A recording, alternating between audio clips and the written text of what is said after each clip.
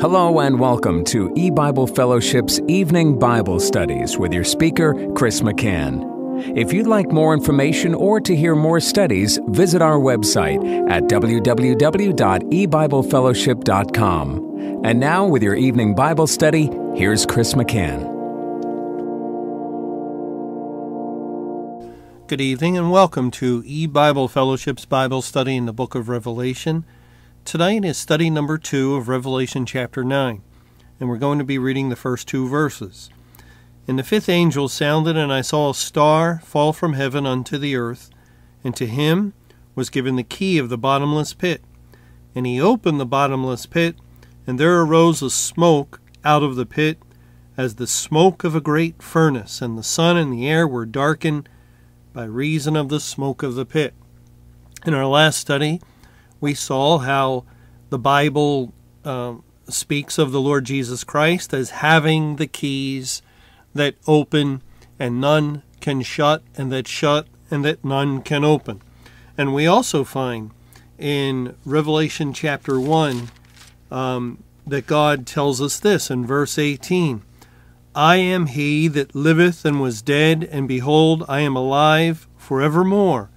Amen and have the keys of hell and of death. Now, that's um, very important because we we read in Revelation 9 1 that this star that fell from heaven was given the key of the bottomless pit. And now, according to Revelation 1:18, that the Lord Jesus Christ possesses keys for hell and death. And uh, if you remember back in Revelation chapter 6, when we were going through the, the four horses, and we saw that the pale horse identified with Judgment Day, and God said of that in Revelation 6, uh, in verses 7 and 8, and when he had opened the fourth seal, I heard the voice of the fourth beast say, Come and see. And I looked, and behold, a pale horse and his name that sat on him was Death, and hell followed with him. And power was given unto them over the fourth part of the earth to kill with sword and with hunger and with death and with the beasts of the earth. And we uh, went through this and, and spent a little time where uh, we saw that God likens Judgment Day, our present period of time, to the rider on the pale horse and and his name was death, and hell followed with him. Now, why would the Bible uh, do that? Why would God link together death and hell with um, the period of Judgment Day?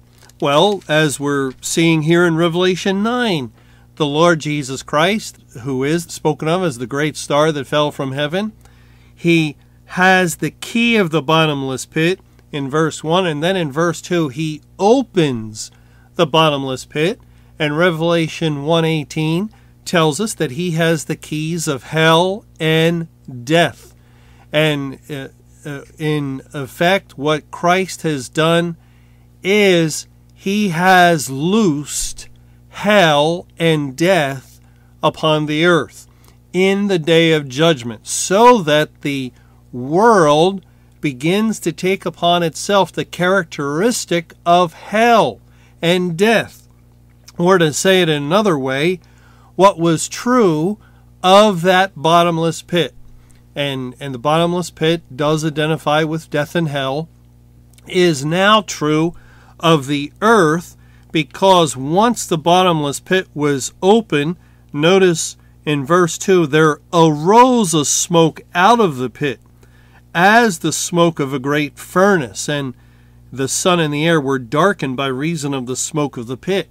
The smoke is arising, that is, coming up, and uh, the smoke is affecting the world. The sun is that which shines down upon the world. The air is that which people breathe in the physical level in the world. And and so the smoke came up out of the pit and now has turned the world into um, a smoking furnace, and and that was the condition of the pit. So hell, which was beneath, below, and the Bible often speaks of hell as descending into it, has risen and come up to where earth is, where the people of earth are. And and that's because well now the people of the earth are under the wrath of God. And uh, we're going to take a little time and um, concentrate on this so so hopefully we'll understand it very well. This is actually uh, an extremely important teaching that God is giving to us, and it will also affect other uh, doctrines, other understandings later on concerning the true believers. Because once the earth takes upon itself the condition of hell and death, which it has, well, where are the believers? The believers are on the earth living in the day of judgment. Therefore, it, it is as though the believers are living uh, uh, in a place that has taken upon itself the condition of hell and death. That's very unusual, isn't it? And and that uh, really leads to some very interesting um, developments concerning God's final end time plan uh, to bring about the resurrection and and the end of this world and so forth. But right now, let's just think about our verse in Revelation 9 1. And we saw that the Lord Jesus is uh, typified as this star that fell from heaven unto the earth. The earth is the object of the wrath of God. And to him was given the key of the bottomless pit. And that's the key of hell and death. And so the Lord Jesus, the only one who possesses this key, Satan has nothing to do with loosing um, hell and death upon the earth. He he is a fallen angel. He's a rebel himself that God is judging, and God is not uh, using him at all to uh, open up the pit, the the bottomless pit, and and that's what we want to think about. What is this bottomless pit? Well, let's start with the word bottomless, and uh, this is uh, a Greek word that's translated only as bottomless here. Now there there's two different uh, Greek words. Bottomless is one, and pit is another. Now, in other places where the Greek word translated as bottomless in Revelation 9 1 is used, you'll find that, um, it, well, it's translated as deep two times, and it's translated as bottomless pit, both words, several times. But here in Revelation 9 1, it's only translated as bottomless, and then another word is added for the word pit. The word bottomless is Strong's number 12, and it's translated as deep in the Gospel of Luke, in Luke chapter 8, and in verse 30. I'll start reading there. And Jesus asked him, saying, What is thy name? And he said, Legion, because many devils were entered into him and they besought him that he would not command them to go out into the deep. Now, this is the the Greek word that's translated as bottomless, uh, abysso, from which we get the, the English word the abyss. Uh, and the, the demons, this legion of demons that had entered into this man, they were fearful that the Lord Jesus might cast them into the abyss, into the deep, into the bottomless pit. And uh, yet at this time, Christ did not. Uh, he uh, he instead allowed them to enter into the herd, and then that herd ran violently down into the sea. And that's a picture of what the Lord will do with the demons and uh, did do very uh, shortly thereafter with Satan at the cross. And yet, it is a word here that is um, on a physical level identifying with the sea, and yet spiritually there's something else in view. In Romans chapter 10, in Romans 10, it's also translated as deep, and here we read in verse 6 But the righteousness which is of faith speaketh on this wise Say not in thine heart, Who shall ascend into heaven? That is to bring Christ down from above. Or, Who shall descend into the deep?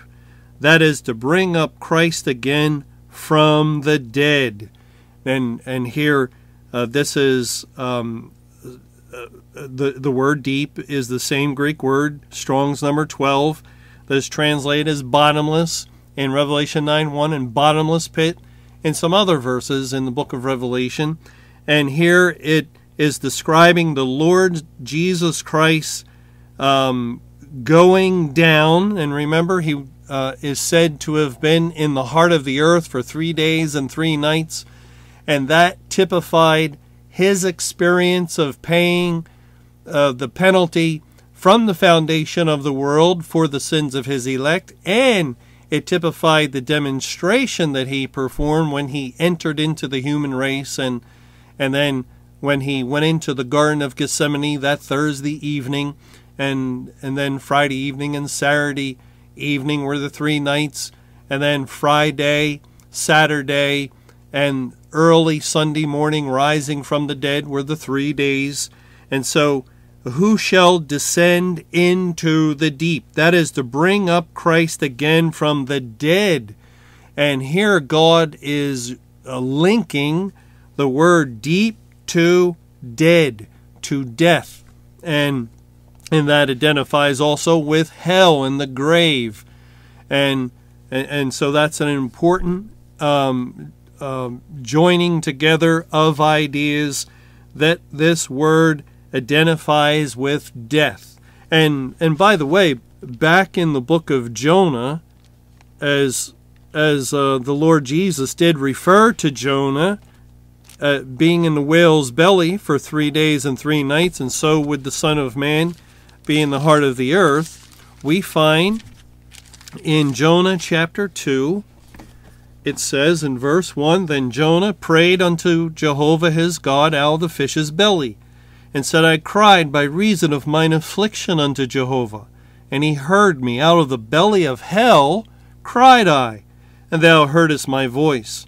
For thou hast cast me into the deep, in the midst of the seas, and the floods compassed me about, all my billows and thy waves passed over me.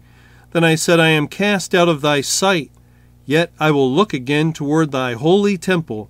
The waters compass me about even to the soul. The depth closed me round about, the weeds were wrapped about my head. I went down to the bottoms of the mountains. The earth with her bars was about me for ever. Yet hast thou brought up my life from corruption, O Jehovah my God. And here, this is when Jonah was in the midst of the whale's belly. And notice the language that the Bible says, out of the belly of hell, Sheol, cried I. And, and then that is joined together with the next phrase in verse 3 For thou hast cast me into the deep, in the midst of the seas. And then the idea of eternity. I went down to the bottoms of the mountains. The earth with her bars was about me forever. And, and this is joining the idea of the abyss, the deep, as we read in Romans 10:7, with hell, the grave. And also in Romans 10:7, death was also joined together with that idea. And and that's what we read of the Lord Jesus Christ. He is the keys of hell and death. He himself has experienced hell and death when he died as the lamb slain from the foundation of the world for the sins of his people and uh, he died. Therefore, he went into hell, the grave, and death. And then he rose again from the dead and was declared to be the Son of God via the resurrection of the dead. And, and that also was before or from the foundation of the world. And so, as the Son, he then, uh, uh, since he was declared to be the Son through the resurrection of the dead, then as the Son of God, he created this world and universe. And and so the Lord Jesus Christ has personal experience with the deep or with the bottomless pit. And that bottomless pit comes into view again in the book of Revelation, in Revelation chapter 20.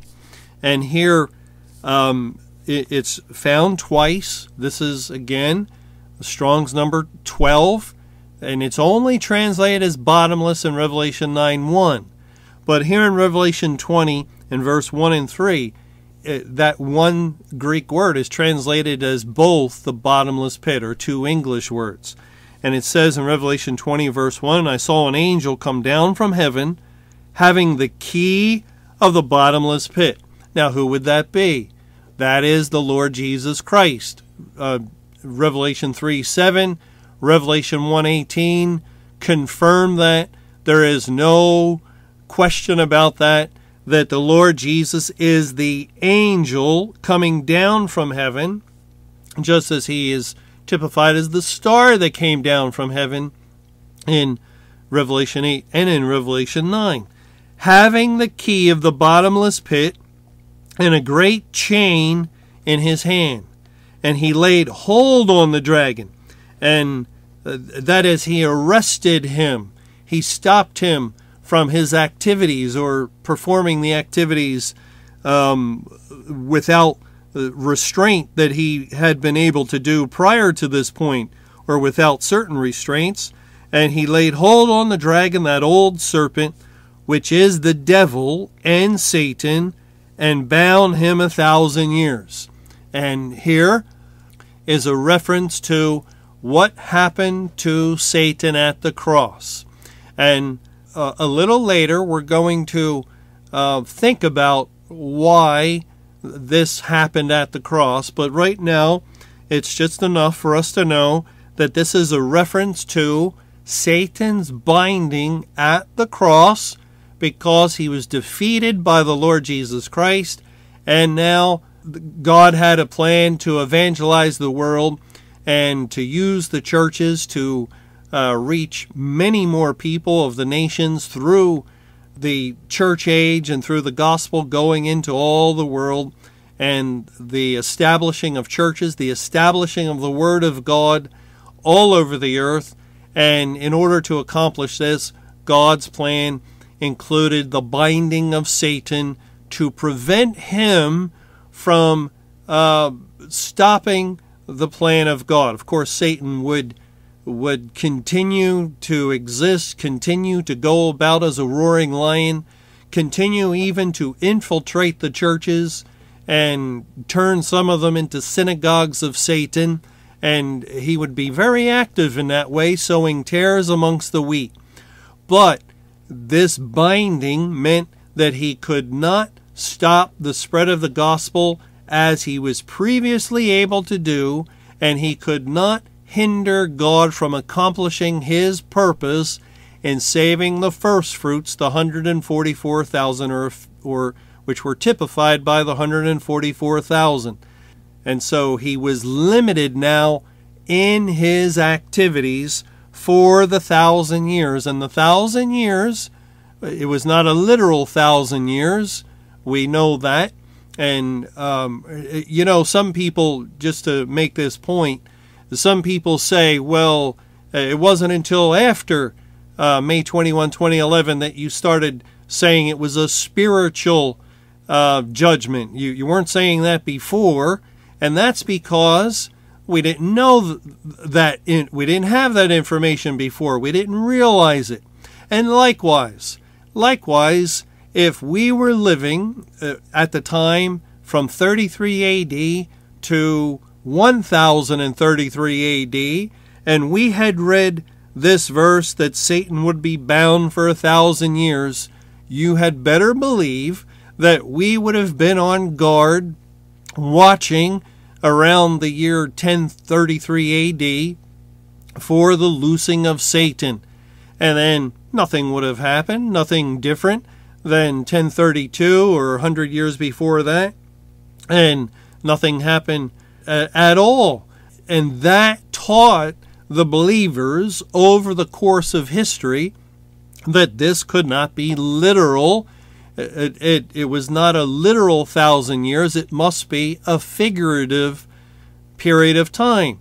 And so there's nothing wrong with learning things after the fact. Sometimes we we can't help it. We're we're uh, finite creatures. We have feet of clay, and it takes going past a certain point to come to a, a better understanding. And and God just factors all these things into His plan of revealing truth to His people.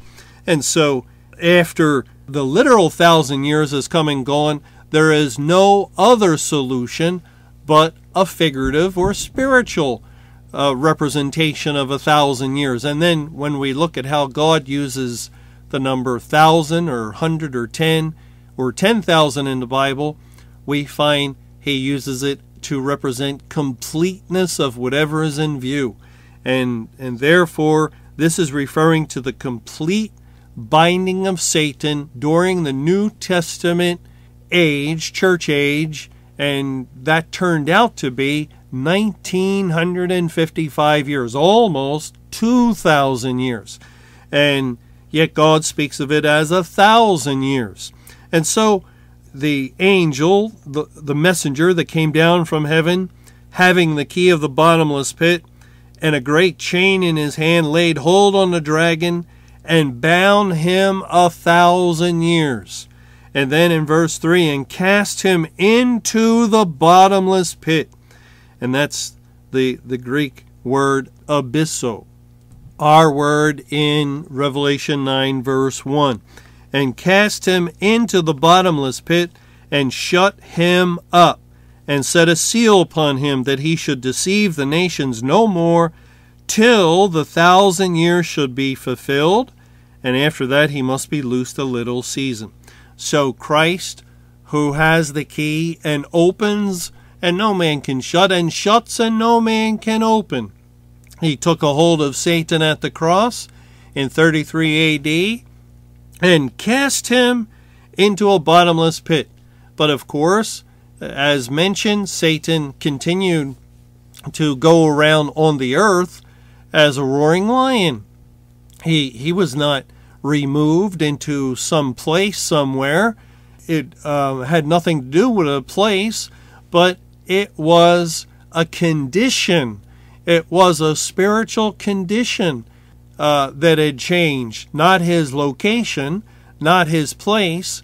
The, the Bible's um, very clear that, that Satan continued to roam the earth and was never uh, put in some place called hell or anything like that, but rather a condition prevailed over him that God spoke of as being as though he were in a bottomless pit and shut up. And it was as if this chain that the Lord Jesus Christ had here was wrapped about him, constraining him and and holding him fast and he could not get free. He was a prisoner and uh, he would remain so for a thousand years or for the 1955 years of the church age until 1988 AD, and then he must be loosed for a little season, and a little season is a reference to the Great Tribulation period. And we, we find in uh, Revelation 11 in verses 6 and 7. It says there, These have power to shut heaven, that it rain not in the days of their prophecy, and have power over waters to turn them to blood, and to smite the earth with all plagues as often as they will. And that's speaking of the two witnesses. Then in verse 7, And when they shall have finished their testimony, the beast that ascendeth out of the bottomless pit shall make war against them and shall overcome them and kill them. And notice that the uh, the testimony of the two witnesses concludes exactly at the point when Satan's binding of a thousand years concludes. He is bound for a thousand years, then he must be loosed a little season. And in Revelation 11, verse 7, we see his ascension. He ascends out of the bottomless pit. That is the point of his loosing. And he immediately goes after the two witnesses or the witness of the Word of God within the churches and congregations of the world.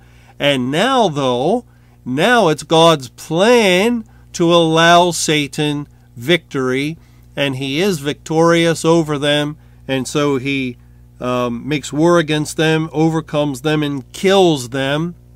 That is speaking again of the witness of the law and the prophets, the word of God within the congregations. The Holy Spirit left the church, and this allowed Satan to win. And now he is the man of sin that has taken his seat in the temple. This is the point of Satan's ascending. And, uh, you know, uh, as people try to make this apply to May 21, 2011, they are way off course because this language is speaking of the beginning of the Great Tribulation.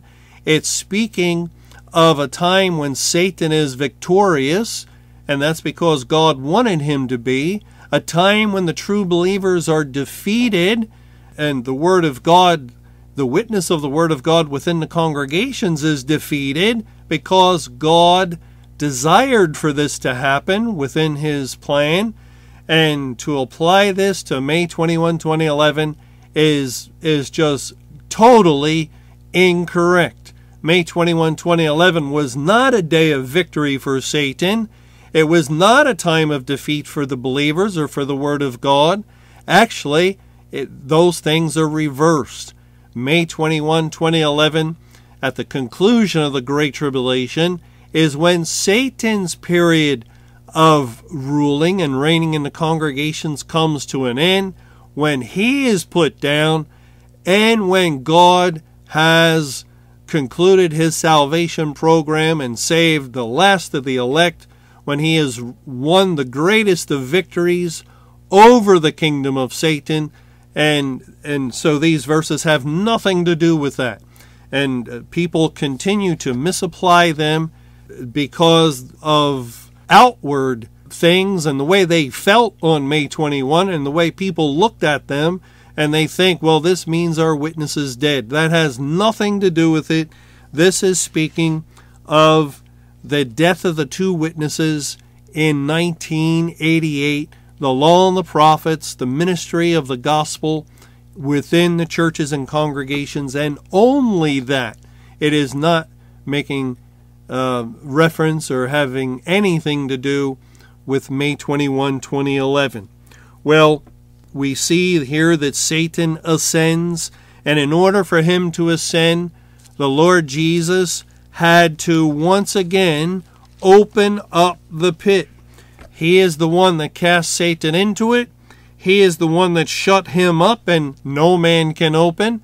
Therefore, as the Bible said there, he after the thousand years are fulfilled, he must be loosed a little season, which means that Christ again returned and as it were put the key in the lock and let him go free and and he went immediately after the people of God. That's what Satan does naturally. And and so uh, Satan himself did not have the key, but Christ uh, utilized the key. And as the Lord Jesus opened the pit and cast him in, and then shut it up, and then as the Lord Jesus opened the pit to release him, Christ is the one with the key and no one else.